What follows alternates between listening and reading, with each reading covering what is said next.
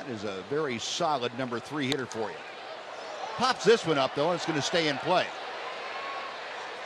Odor calling off Prince Fielder, and Fielder's looking at him like, what are you doing? so, okay, you're a little guy. I'll, I'll give that one to you.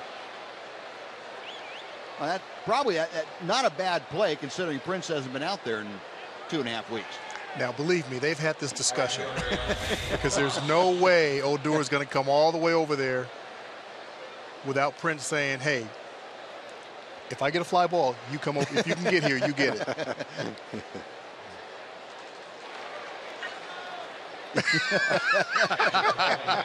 and you know who he's talking to. Yeah. oh yeah, I'm sure That's, it was Beltre. It was right up Beltre's alley. He's right still there. laughing about it.